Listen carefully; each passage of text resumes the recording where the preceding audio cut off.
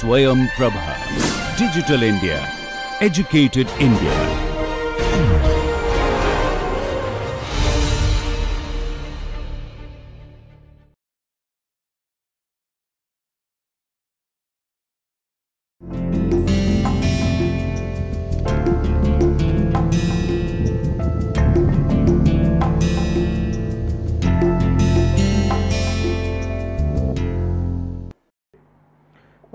So, we are um, looking at the different uh, efficiency and performance uh, parameters and uh, we have looked at uh, all this uh, propulsion efficiency, thermal efficiency, propeller efficiency and the overall efficiency for turbojet.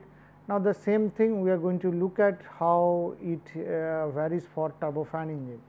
Now, for turbofan we are going to derive those uh, similar expression uh, like um, so the parameters can be for turbofan okay? So here uh, as we recall the engine has two sections just uh, uh, getting it uh, and uh, just to recall that. So then you have compressor then finally it goes through that. So these are hot exhaust these are cold exhaust this is u. So there are two contributing factors one is the cold thrust other one is the hot thrust so they contribute to each other and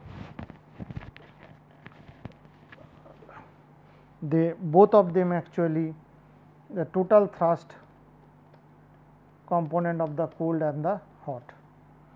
So, here the thermal efficiency could be uh, like m dot E h into u E h square by 2 plus m dot E c square by 2 minus u square by 2. So, where m dot A is m dot A c plus m dot h and we have m dot E h equals to m dot h plus m dot f and m dot A c is m dot E c. So, f would be m dot f by m dot a h. So, we can just write this one 1 plus f square plus m dot a c by m dot h minus 1 plus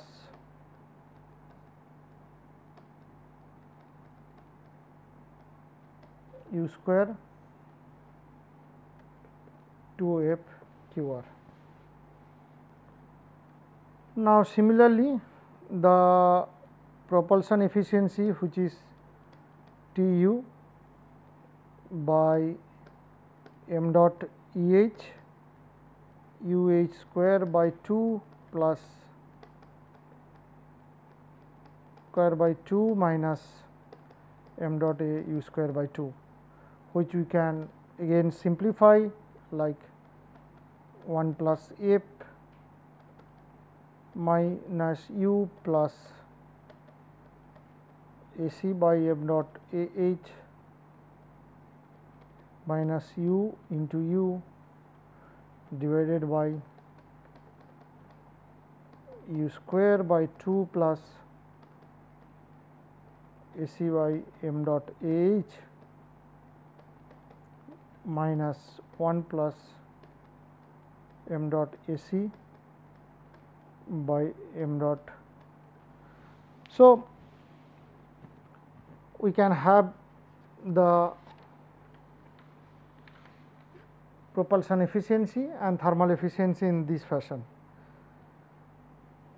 Now, we can look at the curve like how let us say if we draw it with the air speed and this side.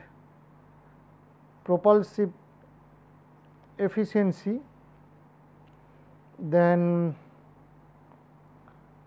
we have curve like so curve goes like that. This is pure turbojet then we have this then we have this then we can have this is turbo prop this is low bypass this is high bypass turbofan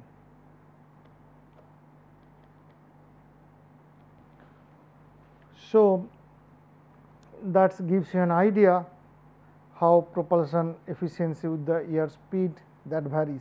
So, if you take an a lower air speed then you can see that is what we have been always uh, talking that at the low speed application turbo propeller engine is quite effective you can see the propulsive efficiency is the maximum. But as we increase the air speed this side then obviously the propulsion efficiency of the turboprop engine drops, but at the same time we have the turbofan and turbojets their efficiency goes up propulsion efficiency. So, another curve which may be interesting to just note again this is with air speed and this is propulsion efficiency. So, this is for like and this is for propeller fan and this is contra rotating fan. So, even their uh, propulsive efficiency can be compared how these things actually varies. Now, what we can look at is the with this kind of efficiency and other parameters. So, we can really go to uh, some particular trend. So, uh, these are the some of the pictures which are give you an idea like how this uh, different kind of engines and what is there. So, let us look at this first picture.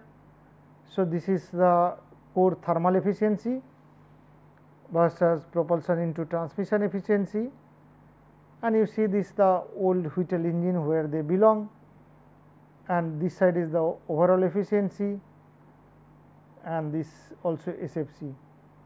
So, this is where our turbojet, then low bypass ratio turbofan, then current bypass ratio turbofans which are there, then we have future trend how things are going to be uh, advanced in this direction. And other one which is there is the depending on the bypass ratio this is the different factors of the bypass ratio and this is the fuel consumption rate or TSFC thrust specific fuel consumption. This is where turbojet lies you see quite top then turbofan with bypass ratio 1 then low bypass ratio you have medium bypass ratio then high bypass ratio turbopropeller and these are the different example of all these uh, different category of engines where they belong and how their performance parameter which as I just tried to draw schematically. Now, the another curve which would be interesting to see is the specific thrust characteristics where again this is the aircraft Mach number and you can see how the trend looks like. The trend is you have turboprop here, then you go to high bypass ratio turbofan, this is low bypass ratio turbofan and that is where that turbojet belongs to.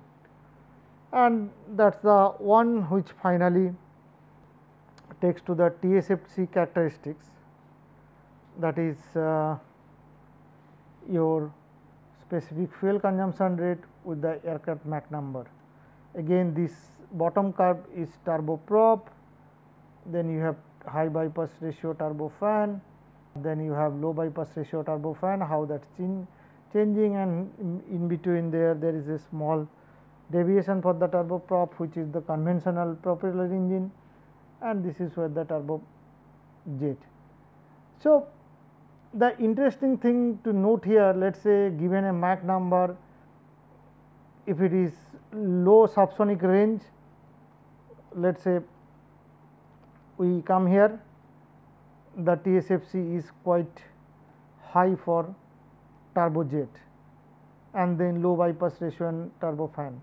But when I go to high Mach number then you can see this is what that is why low speed application turboprop is preferred and high speed application bypass ratio turbofan these are preferred and at the same time the other curves also kicks in. Now, that will give you an some idea about how these trends and are. Now, moving forward the important one is that we look at the takeoff thrust.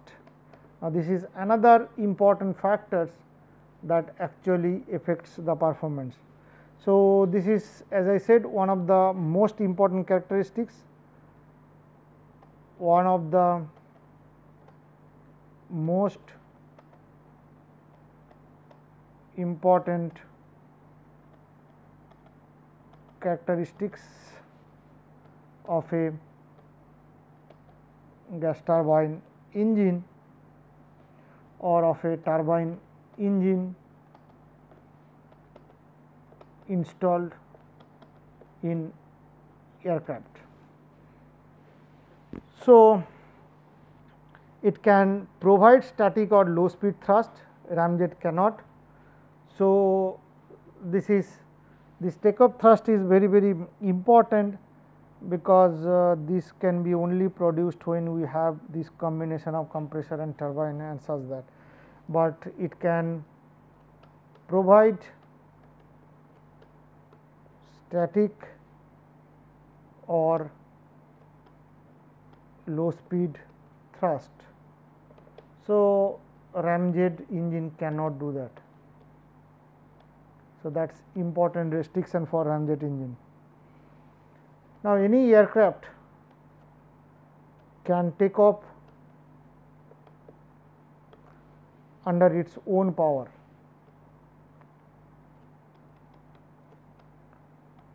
So, that is which is essential requirement and at the same time during takeoff aircraft needs the max power during takeoff. So, also this is important that uh, takeoff thrust is going to be the maximum thrust because this required during takeoff and the takeoff usually happens at the sea level where air density is also maximum at ground level and that leads to higher drag because this is proportional to density. So, the aircraft has to also overcome frictional forces on the wheel. So, it has to overcome frictional forces on wheel also full load with maximum fuel. So, that means the load is full full load with max fuel. That means, while the aircraft is taking off that time you have the maximum payload carrying including the fuel weight which is also maximum. So, this is an very very important design parameter because this is the max thrust generated by an engine and that is what required during takeoff. Now, how that makes things different or how it affect let us see it is simple we will start with the let us say thrust equation. So, that is T equals to m dot A minus u plus P A A E. Now, what happens at startup u goes to 0 or u is very very smaller than u e. So, which will lead to m would be quite small and that means P e. What is there? That should be P a. That means the atmospheric condition. So, with these conditions one can write the thrust which is going to be during takeoff it is equals to m dot a into 1 plus f u e. And always we keep on saying so far rather instead uh, that in general uh, f is very very small, but one can always say why or one can look at it just uh, just to justify that statement which we have been always talking that fuel air ratio um, would be always less. Um, uh, let us say any hydrocarbon fuel you take, let us uh, take the simple one uh, typically methane. So, what happens just look at the methyl combustion. Uh, so, this is 2 O2 plus N2 which will lead to CO2 H2 plus 7 N2. So, that is sort of a balanced equation. Then uh, here fuel is 16 and if you look at this year which is uh, this is 7 into 28 plus this is 2 into 32 this would be roughly 260. Now, the fuel air ratio would be 16 by 260 which is 0.06 and that is what we always say. In general these engines the fuel air ratio is quite small. And just an example now you can take the other fuels like all these jet fuels or uh, things are all hydrocarbon fuels which are of the similar um, category and you can have this. Now, let us coming back to this takeoff thrust. If, um, since f is small we can uh, write takeoff thrust is m dot a into u a which means T o by m dot A is u e which is the static thrust per unit mass. Okay. Now, this uh, static thrust per unit mass this guy is directly proportional to exit or exhaust velocity. Okay. That is what we can see, but it would be interesting to also look at for a given flow rate how does thrust depend on exhaust velocity. So, that would give us a important aspect or this answer also this will also or this answer to this question also shed some light that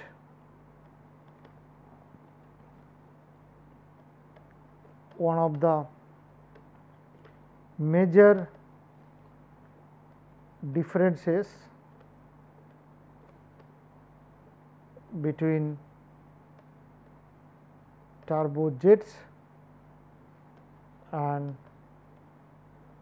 turbofan etc.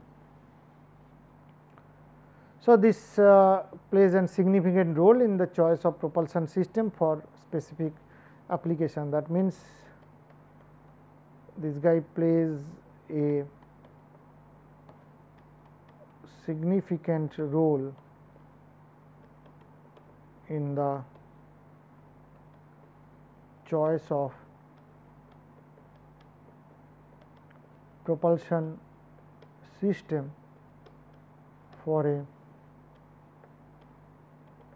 specific application. Let us see how that happens. So, we have already derived the relationship for the thermal efficiency and the thermal efficiency is 1 plus f minus u square by 2 by f into q r. Now, for static engine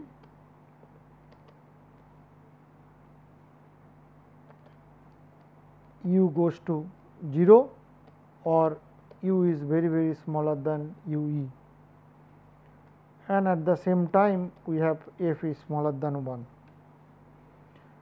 Then we can write this thermal efficiency as u square by 2 f q r which is equivalent to writing m a u square to m dot q r. Now, from here what we get that m dot a to m dot f eta thermal efficiency q r divided by u e square. And also we know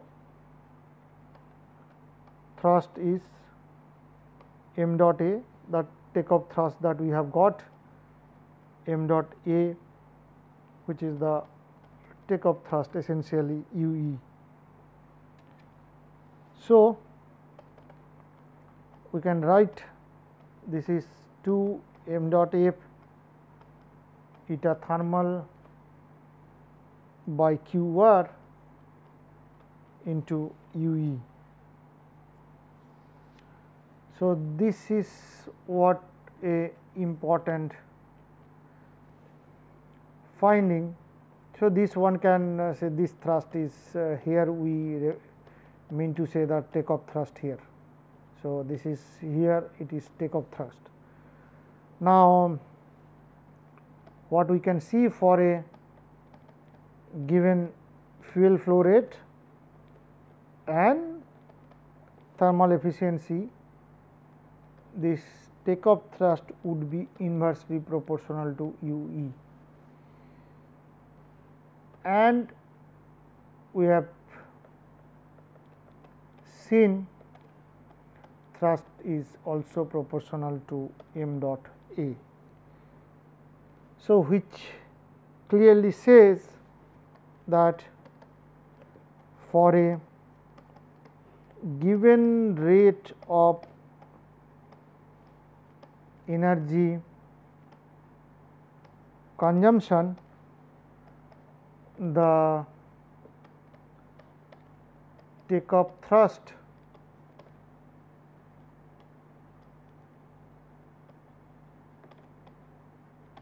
can be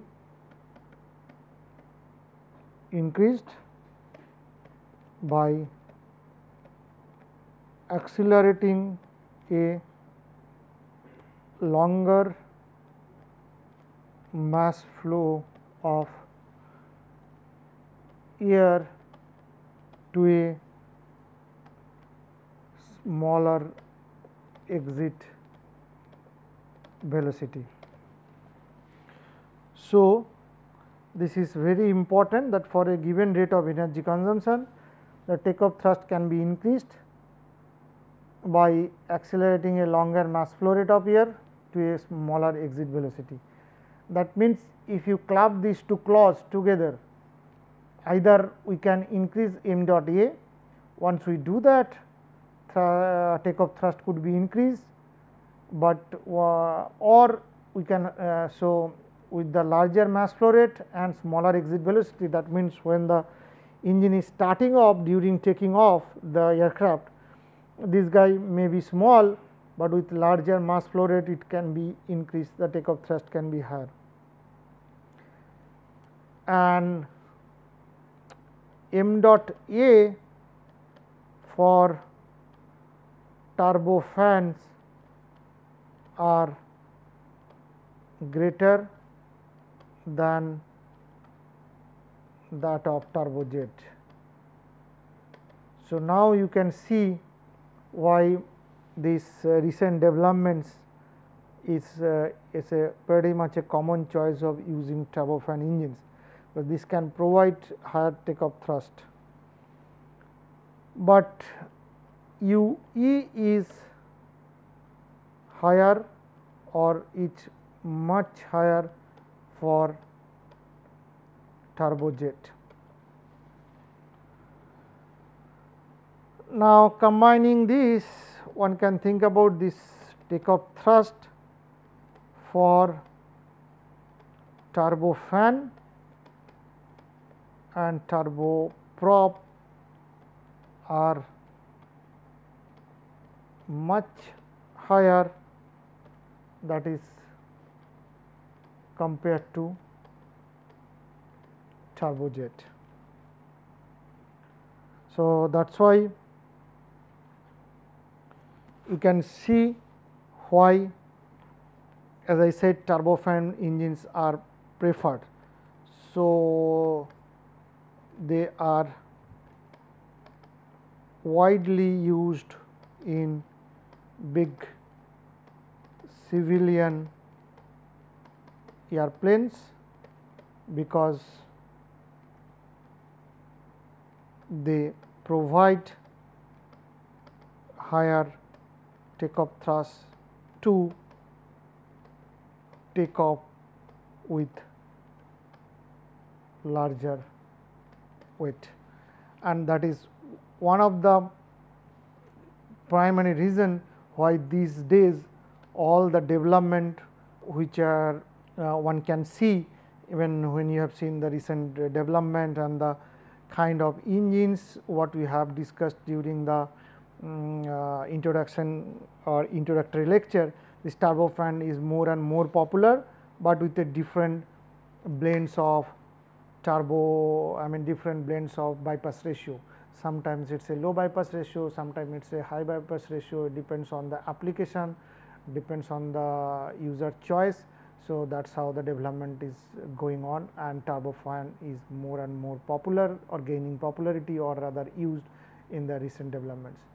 So, we will uh, look at the other aspect in the next lecture.